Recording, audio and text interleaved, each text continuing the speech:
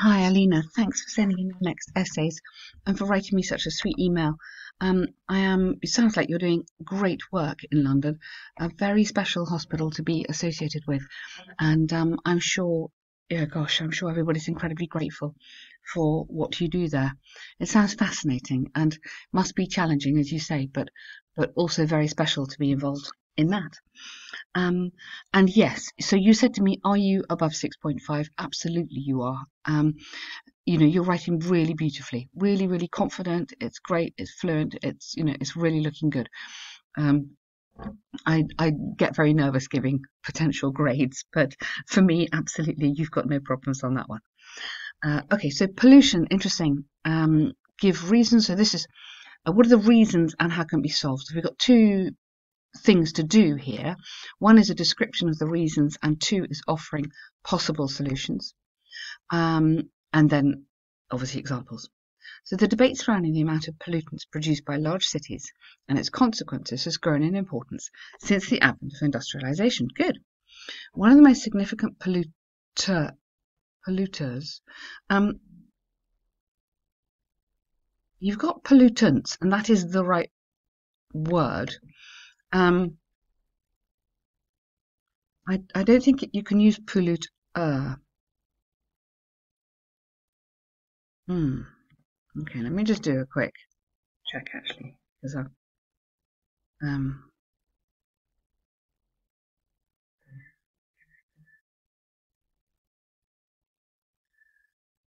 I I would just go um help issues maybe all causes.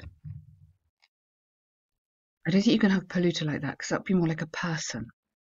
Um, and you've got pollutant already. So maybe go either of those.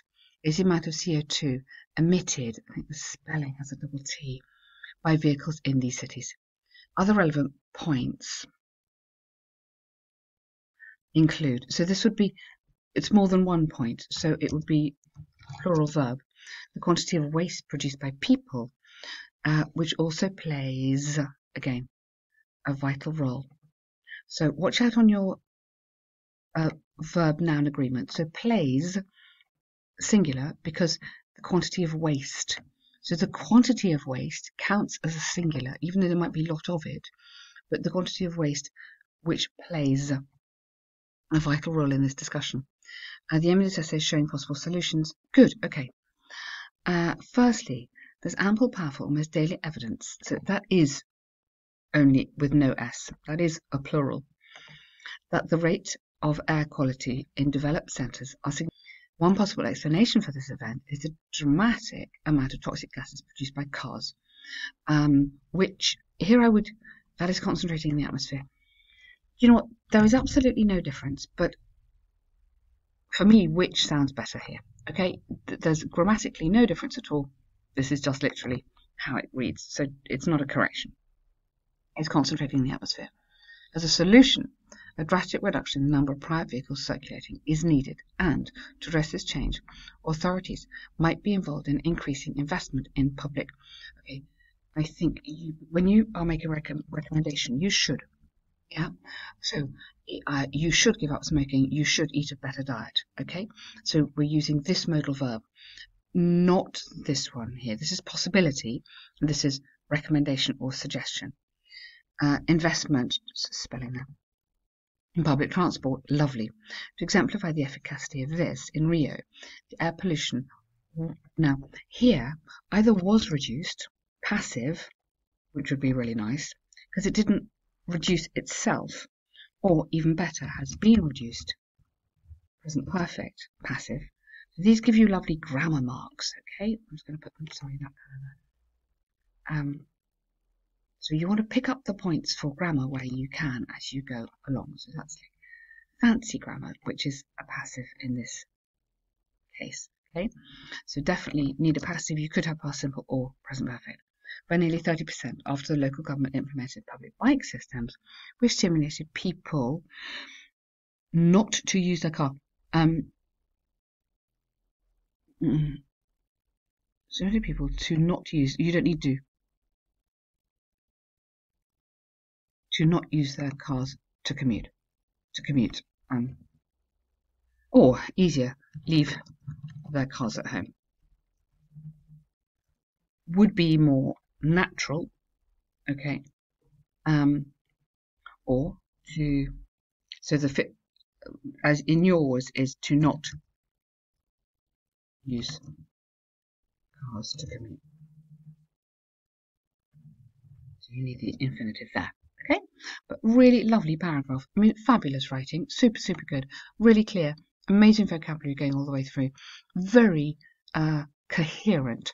So you've told me what the issue is, and you're telling me immediately what the solution is. Secondly, from a daily life perspective, the amount of waste produced by citizens um, from big cities has increased from less than 0.5 to 1 uh, over the last decade. As a result, these materials, so here is plural, these, are disposed into oceans. Are now are sometimes, are often maybe, get oh, put a um, one of these little adverbs here, often disposed into oceans, which leads, so are often disposed, which leads, verb there, to uh, contamination in the water. You, you, that would have to be a noun. Contamination in the water and reduce uh, verbs, hang on, leads to contamination and reduces its amount available to be consumed by people. Uh, consumed, okay, it's it's safety. It's safety piquant because it's not amount okay safely available. Let's do it there. Because it's it's still available but it's just not safe. So put in that one there. Okay so let me just explain these verbs here. So these materials so this is the subject of your sentence this one are often disposed which leads so just oh okay th this grammar is a bit difficult um so this, which leads, so the reason we've got a singular which leads, is basically which means, which is referring to the fact that the materials are in the ocean. So which is the fact that, and then leads to contamination and reduces its amount. So it's your the relative pronoun which, which is giving you the singular. Okay. Uh, one possibility Uh, and then here you could have would be. So keep going on your modal verbs. Would be to tackle this problem. Oh. Uh, yeah, I go. I definitely go would be. Um, would be to tackle this problem by investing in. Um, would be to tackle this problem by investing in biodegradable items. Yep, lovely. There's an example, in Finland, which boasts one of the lowest rates. So one of the lowest rates, watch out on the grammar again here. These are just little things, but I want you to understand what's happening here. Uh, when you've got the superlative, you're looking at all the lowest rates as a group, and you've just chosen one of them. So one of the lowest rates of waste is prohibited by law, um, offering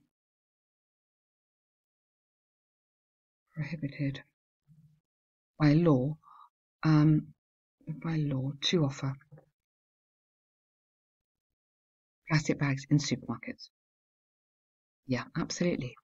Therefore, people should take action to change their daily habits. Uh, however, governments might also enforce it by public policy. Yes, absolutely. Super. Really, really good. Very clear. You've just totally understood it. Excellent. In conclusion, Many attitudes are necessary to solve pollution problem in developed cities, and it must come from not only people's behavior change, but also from authorities' enforcement.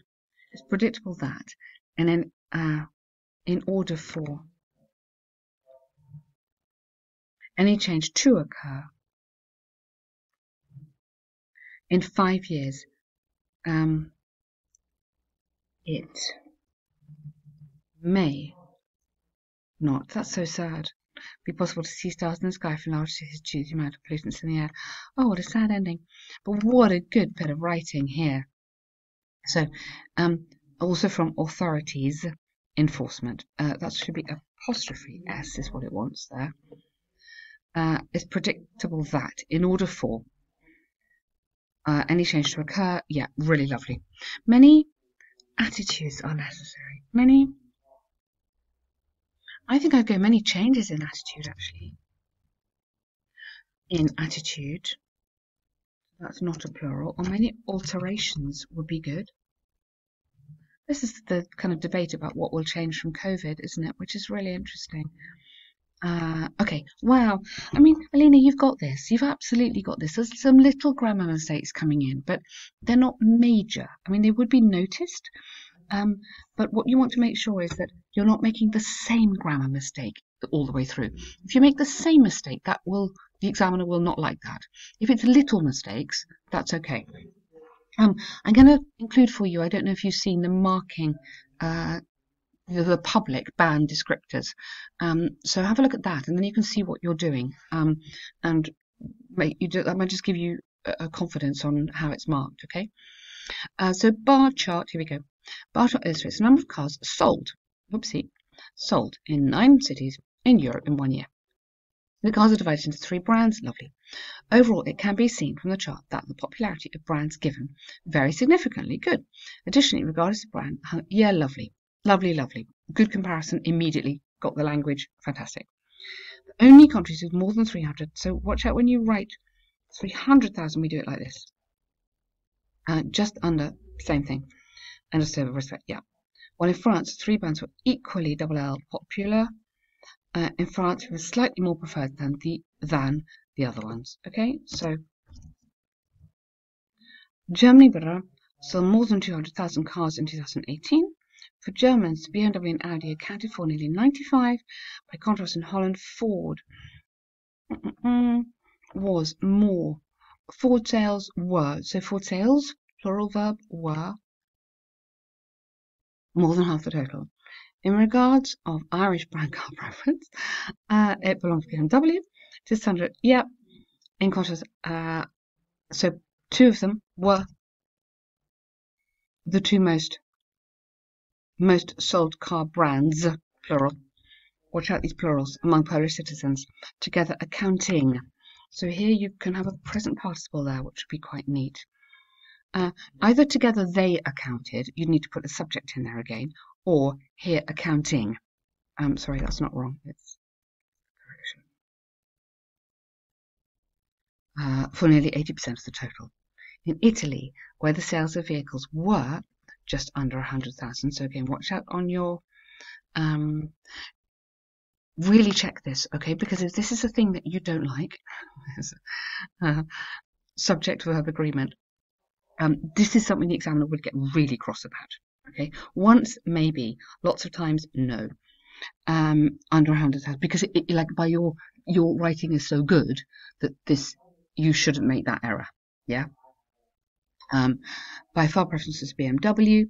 Conversely, Belgium, the country with the least number of sales, for was basically mm, was basically the only brand sold. Uh, basically, can be a little bit informal. The way we think of the way we use basically in speech um, was, uh, in reality, would be okay. It's a little bit more formal, or was clearly Okay. Only brand sold. Okay.